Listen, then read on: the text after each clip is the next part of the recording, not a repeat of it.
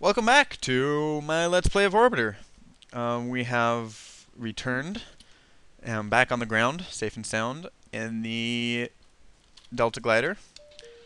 Um, so it's in safe mode, so let's turn it on.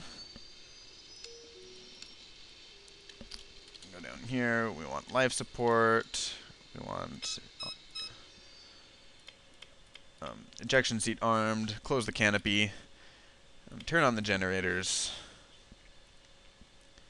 and disconnect from the EPU. Um, so it's nighttime here at Cape Canaveral, but I don't think that's too much of a problem. I do want to put this onto surface actually, orbital speed. Excellent, that's beautiful. So nighttime here at Cape Canaveral, and that is our target, AR01. It is at an ecliptical plane, which is troubling for us because it never passes over Cape Canaveral, which means that it will never properly align with our um, with our orbital plane, no matter how we launch. Oh my word.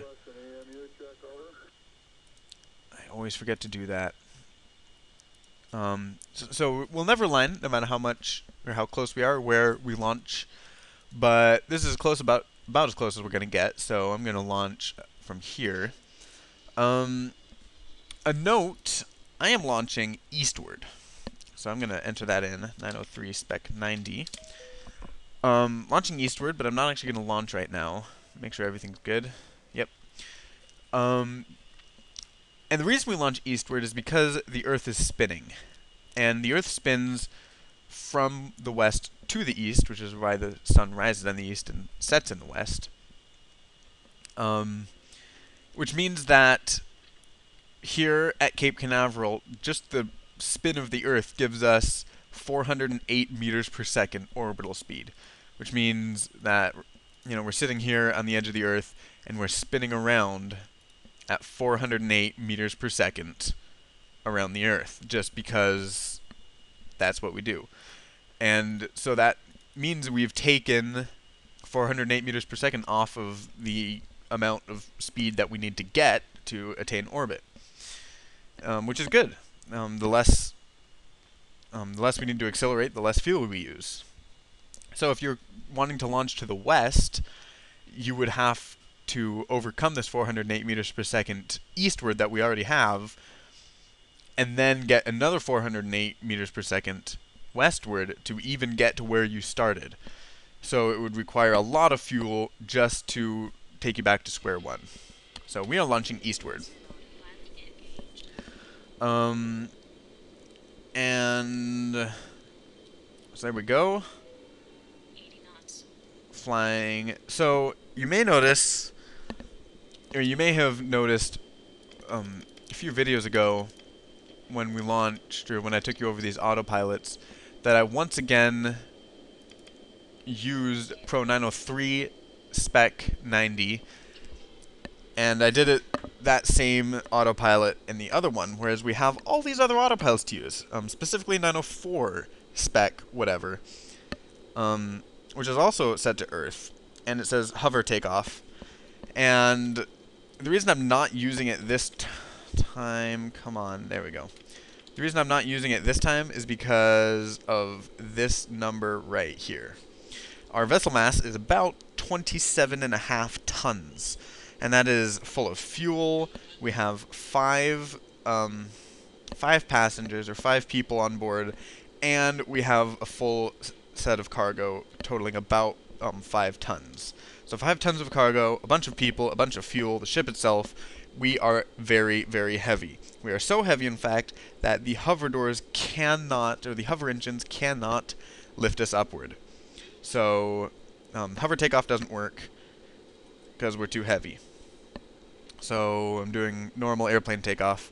And you notice that we are heavy so that the autopilot is, you know, having to um, stop, pull up to keep us from hitting the ground before um, continuing the turn. So there we go, 90 degrees, and uh, the turbo engines are going to kick in here in a moment.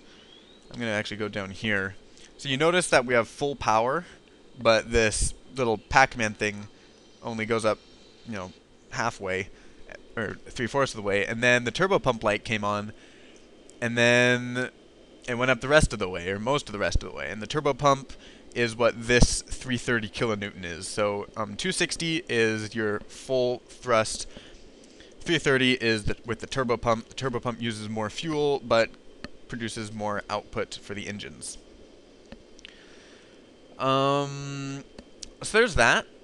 And like I said before, our goal is, in this case, AR01, which you cannot see the name of because it is almost exactly on the other end of the Earth.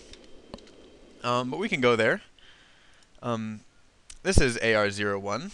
Oh, that was such a beautiful transition. I have never had it immediately go to a view that's this nice. Um, give you a nice broadside view of the ship. Um, this is the UCGO Arrow Freighter. It is an add-on vehicle that is included with the um, UCGO stuffs. And it is for interplanetary transportation of cargo and people. Um, it's very large. I don't know if you can get the size of this. It is, well, I guess here you have windows, um, more windows. It is a large, large ship. It has 40 cargo clamps and room for 20 passengers. Um, I have filled up the cargo cl clamps as of yet for the mission. We are going to the moon again, but for a slightly different purpose. And before we go inside, I'm going to switch back to the Delta Glider for... Oh my word. X. There we go. Switch back to the Delta Glider for a reference of something. So here we have the um, cockpit view. You have the three panels you can switch between. And if you want to look around, you know, you right click and look around, but, you know, the uh, cockpit kind of goes with you. And this is a two-dimensional or you know, two-dimensional flight deck or two-dimensional display, and that's what it does. I mean, it's really handy, it's really pretty, and it has action buttons, but you know, it follows you around.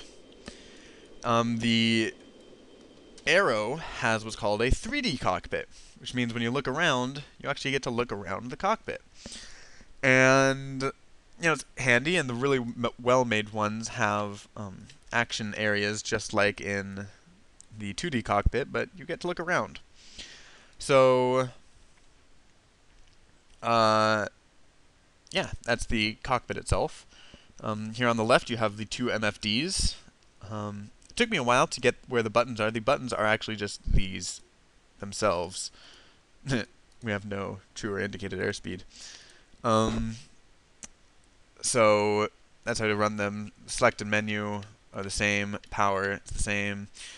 Here you have the um, autopilot sessions. So you can hold Alt, which is I'm probably not going to do that here. Um, bad bad news anti-normal, normal, etc.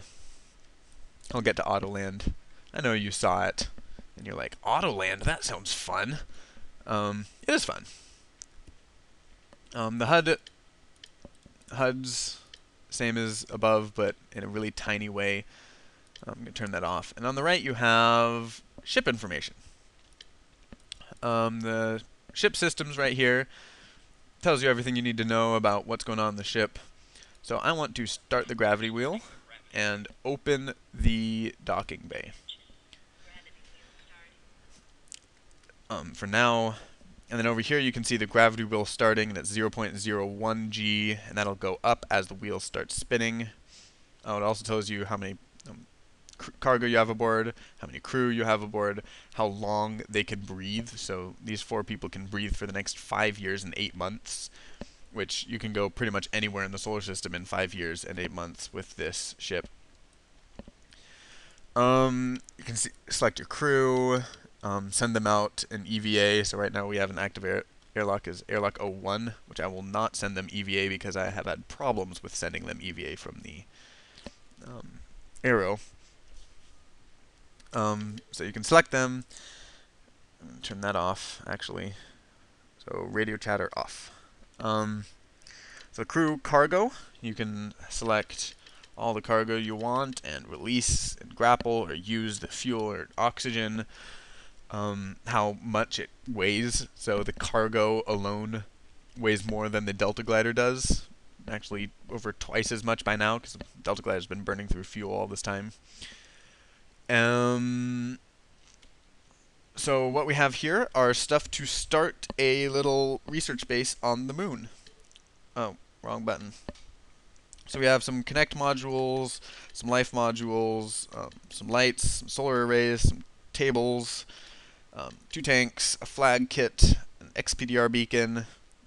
I'll get to why I failed at putting it in here um, when we get to that point. I'll probably do it en route to the moon. Oxygen, our food and water supply, and some fuel, just in case. A checklist which you can edit. Um, in, on your computer, and the help that the um, Dansteph has added with all of his, or most of his, add-ons. Help pages are nice. So that's the arrow. Um, are currently at, you know, 600 kilometers, which is quite high. Oh, there's a gravity wheel starting. We're spinning away. And here is our docking bay. Um, for a Delta glider, it was designed to fit a Delta glider. So that gives you a kind of sense of scale on how large our ship is. Um, so there's that. I am going to actually close... No, I'm not. I'll leave it open.